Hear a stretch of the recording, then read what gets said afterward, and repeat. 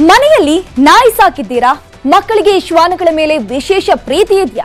ಎಲ್ಲ okay but health wise not okay ಅಂತಿದ್ದಾರೆ ವೈದ್ಯರು.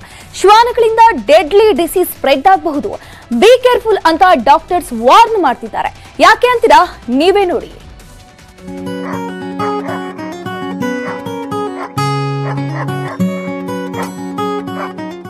ನಾಯಿಗಳು ಮನುಷ್ಯರ ಬೆಸ್ಟ್ ಫ್ರೆಂಡ್ ಅಂತಾನೆ ಹೇಳ್ಬಹುದು.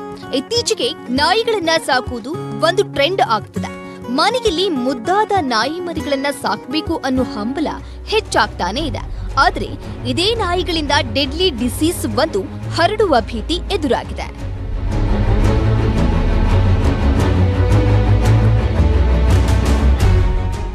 ಇತ್ತೀಚೆಗಷ್ಟೇ ಹತ್ತು ವರ್ಷದ ನೇಪಾಳಿ ಬಾಲಕಿಯೊಬ್ಬಳು ಉಸಿರಾಟದ ತೊಂದರೆಯಿಂದ ಆಸ್ಪತ್ರೆಗೆ ದಾಖಲಾಗಿದ್ದಳು. ಪರೀಕ್ಷೆ ಮಾಡಿದಾಗ ಆಕೆಯ ಶ್ವಾಸಕೋಶದಲ್ಲಿ ಡೆಡ್ಲಿ ಹುಳು ಬೆಳೆದಿತ್ತು.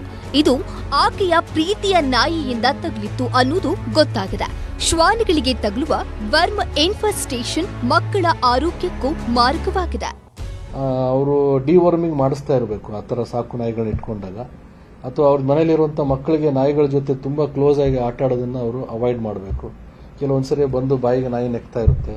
ಅಥವಾ ಅವರು ಆಟ ಆಡೋ ಬಾಲ್ಗಳನ್ನು ಹಿಡ್ಕೊಂಡು ಕಚ್ತಾ ಇರುತ್ತೆ. ಅಥವಾ ಅಲ್ಲಲ್ಲೇ ಮಲಮೂತ್ರ ಮಾಡ್ತಾ ಇರುತ್ತೆ, ಅದ್ರ ಮೇಲ್ಗಡೆ ಅವರು ಆಟ ಆಡ್ತಾ ಇರ್ತಾರೆ. ಅಂಥದನ್ನು ಅವಾಯ್ಡ್ ಮಾಡಬೇಕಾಗುತ್ತೆ. ನಾಯಿಗಳಲ್ಲಿ ಟೇಪ್ ವರ್ಮ್ ರಿಂಗ್ ವರ್ಮ್ಗಳು ಕಾಣಿಸಿಕೊಳ್ತದೆ. ಇನ್ಫೆಕ್ಷನ್ ಬಂದ ನಾಯಿಗಳ ಸಂಪರ್ಕದಿಂದ ಇದು ಸ್ಪ್ರೆಡ್ ಆಗ್ತದೆ. ಮುಖ್ಯವಾಗಿ ಚಿಕ್ಕ ಮಕ್ಕಳಿಗೆ ಈ ರೋಗ ಬಹುಬೇಗ ತಗುಲುತ್ತದೆ. ಹೀಗಾಗಿ ಮಕ್ಕಳನ್ನ ಸೋಂಕು ಪೀಡಿತ ಶ್ವಾನ ಜೊತೆ ಬಿಡಬೇಕಾದ್ರೆ ಎಚ್ಚರಿಕೆ ವಹಿಸಬೇಕು.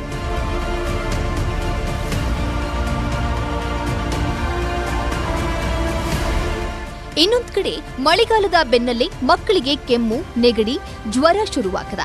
ನಗರ ಆಸ್ಪತ್ರೆಗಳಲ್ಲಿ ಮಕ್ಕಳಿಗೆ ಚಿಕಿತ್ಸೆಗೆ ಕರೆದುಕೊಂಡು ಹೋಗುವವರ ಸಂಖ್ಯೆ ಹೆಚ್ಚಾಗದ. ಹೀಗಾಗಿ ಮಕ್ಕಳ ಬಗ್ಗೆ ಗಮನ ಹರಿಸಿ ಎಂದು ವೈದ್ಯರು ಸಲಹೆ ನೀಡುತ್ತಿದ್ದಾರೆ ಹಂಸ ಶ್ಯಾಮಲಾ, ನ್ಯೂಸ್ ಏಟೀನ್ ಬೆಂಗಳೂರು. ಅವರಿಬ್ಬರು ಒಂದೇ ಏರಿಯಾದವರು. ತಮ್ಮದೇ ಗ್ಯಾಂಗ್ ಕಟ್ಕೊಂಡು ರೌಡಿಗಳು ಅಂತ ಓಡಾಡ್ಕೊಂಡಿದ್ರು. ಮೊನ್ನೆ ಏರಿಯಾದಲ್ಲಿ ಊರಿನ ಹಬ್ಬ ಅಂತ ಒಟ್ಟಿಗೆ ಸೇರಿದ್ರು.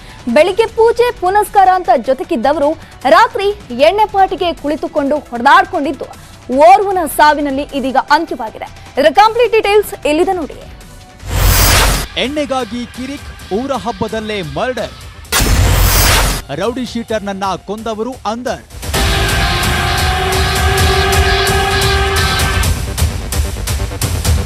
ಕೆಪಿ ಅಗ್ರಹಾರದ ರೌಡಿ ಶೀಟರ್ ಸಾಗರ್ ಕೊಲೆ ಪ್ರಕರಣದ ಆರೋಪಿಗಳನ್ನು ಪೊಲೀಸರು ನಾಲ್ಕೇ ದಿನದಲ್ಲಿ ಬಂಧಿಸಿದ್ದಾರೆ. ಏರಿಯಾದಲ್ಲಿ ಒಂದಷ್ಟು ಪುಡಿ ರೌಡಿಗಳನ್ನು ಕಟ್ಕೊಂಡು ಓಡಾಡ್ತಿದ್ದಂತಹ ಸಾಗರ್ ಇದೇ ಇಪ್ಪತ್ತೆರಡನೇ ತಾರೀಕು ನಡೆದ ಊರ ಹಬ್ಬದಂದು ರಾತ್ರಿ ಕೊಲೆಯಾಗಿದ್ದ. ಪ್ರಕರಣದ ಹಿಂದೆ ಬಿದ್ದ ಕೆಪಿ ಅಗ್ರಹಾರ ಪೊಲೀಸರು ಮೂವರು ಆರೋಪಿಗಳನ್ನು ಬಂಧಿಸಿದ್ದಾರೆ. ನವೀನ್, ಹೇಮಂತ್ ಹಾಗೂ ಡಿಯೋ ಬಂಧಿತರು. ಆರೋಪಿ ನವೀನ್ ವಿಜಯನಗರ ಠಾಣೆಯ ರೌಡಿ ಶೀಟರ್. ಈತ ಕೂಡ ಕೆಪಿ ಅಗ್ರಹಾರದಲ್ಲಿ ತನ್ನದೇ ಪಟಾಲಂ ಕಟ್ಟಿಕೊಂಡಿದ್ದ. ಊರ ಹಬ್ಬದಂದು ಸಾಗರ್ ಮತ್ತು ನವೀನ್ ಗ್ಯಾಂಗ್ ಜೊತೆಯಾಗಿಯೇ ಭರ್ಜರಿ ಪಾರ್ಟಿ ಮಾಡಿದ್ರು. ಆದ್ರೆ ಎಣ್ಣೆ ಖಾಲಿ ಆದ್ಮೇಲೆ ಮತ್ತೆ ಎಣ್ಣೆ ತರಿಸುವ ವಿಚಾರಕ್ಕೆ ಗಲಾಟೆಯಾಗಿದೆ. ಇದೇ ಗಲಾಟೆಯಲ್ಲಿ ಸಾಗರ್ನನ್ನ ನವೀನ್ ಹೊಡೆದು ಹತ್ಯೆ ಮಾಡಿದ್ದಾನೆ. ಸಾಗರ್ ಅಲಿಯಾಸ್ ಚಿನ್ನು ಅನ್ನೋನನ್ನ ನವೀನು, ವಾಲೆ ಮತ್ತೆ ಇನ್ನಿತರರು ಸೇರಿಬಿಟ್ಟು ಅವನನ್ನು ಕೊಲೆ ಮಾಡಿದ್ದಾರೆ ಅಂತಂತೇಳಿ. ಆ ಹಿನ್ನೆಲೆಯಲ್ಲಿ crime number sixty one bar twenty three under section three naught two read with thirty four I P C ಡಿಯಲ್ಲಿ ಪ್ರಕರಣ ದಾಖಲಾಗಿರುತ್ತೆ. ಕೆ ಪಿ ಅಗ್ರಹಾರ ಇನ್ಸ್ಪೆಕ್ಟರ್ ಮತ್ತು ಎ ಸಿ ಪಿ ವಿಜಯನಗರ ಅವರ ನೇತೃತ್ವದಲ್ಲಿ ತನಿಖೆ ನಡೀತಾ ಇರುತ್ತೆ. ಈ ಹಿನ್ನೆಲೆಯಲ್ಲಿ ಮೂರು ಜನ ಆರೋಪಿತರನ್ನು ಪೊಲೀಸರು ವಶಪಡಿಸಿಕೊಂಡು ಅವರನ್ನು ಈಗ ನ್ಯಾಯಾಂಗ ಬಂಧನಕ್ಕೆ ಕೊಡ್ತಾ ಇದ್ದಾರೆ. ಕೊಲೆ ಕೇಸ್ ದಾಖಲಿಸಿಕೊಂಡಿದ್ದ ಕೆಪಿ ಅಗ್ರಹಾರ ಪೊಲೀಸರು ಮೂವರನ್ನ ಬಂಧಿಸಿದ್ದಾರೆ.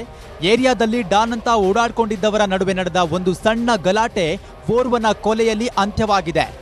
Muniraju crime bureau news eighteen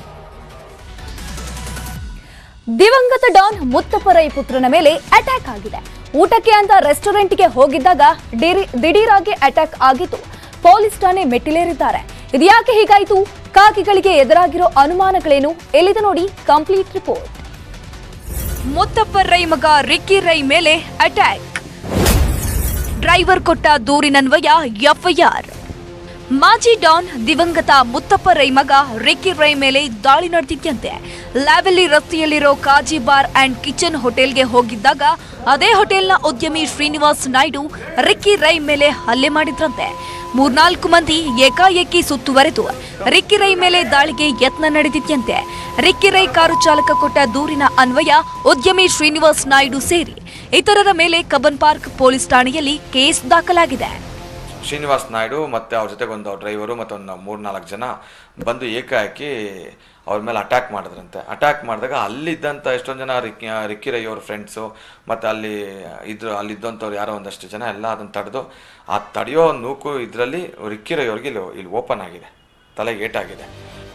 ಒಂದು ವರ್ಷದ ಹಿಂದೆ ಇದೇ ರಿಕ್ಕಿರೈ ತನ್ನ ಕಾರು ಸುಟ್ಟು ಹಾಕಿದ್ದಾರೆ ಅಂತ ಶ್ರೀನಿವಾಸ್ ನಾಯ್ಡು ವಿರುದ್ಧ ದೂರನ್ನ ನೀಡಿದ್ರು. ಇತ್ತೀಚೆಗೆ ಈ ಕೇಸ್ನ ಚಾರ್ಜ್ ಶೀಟ್ ಕೋರ್ಟ್ಗೆ ಸಲ್ಲಿಕೆಯಾಗಿತ್ತು ಇದೇ ದ್ವೇಷದಿಂದ ಮತ್ತೆ ಹಲ್ಲೆ ನಡೆದಿದೆಯಂತೆ. ಅಲ್ಲದೆ ಶ್ರೀನಿವಾಸ್ ನಾಯ್ಡು ರಿಕ್ಕಿರೈಗೆ ಲಕ್ಷಾಂತರ ಹಣ ಕೊಡಬೇಕಂತೆ. ಅಷ್ಟೇ, ನಾನು ಹೋಗಿ ಪೊಲೀಸ್ ಸ್ಟೇಷನ್ ಕಂಪ್ಲೇಂಟ್ ಕೊಡ್ತೀನಿ, ಅವನ ಮೇಲೆ ಕೇಸ್ ರಿಜಿಸ್ಟರ್ ಆಗಿದೆ.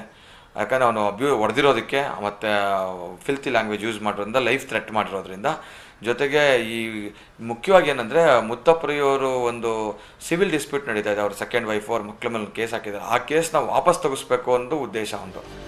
ಇನ್ನು ಶ್ರೀನಿವಾಸ್ ನಾಯ್ಡು ಗಾಂಜಾ ಹಿಡ್ಕೊಂಡಿರೋ ಕೆಲ ಫೋಟೋ ವೈರಲ್ ಆಗಿದೆ. ಗಾಂಜಾ ಮತ್ತಲ್ಲಿ ಹಲ್ಲೆ ನಡೆದಿದ್ಯಾ ಅಂತ ಪೊಲೀಸರು ಪರಿಶೀಲನೆಯನ್ನ ಮಾಡ್ತಿದ್ದಾರೆ. Manjunath N, crime bureau, news eighteen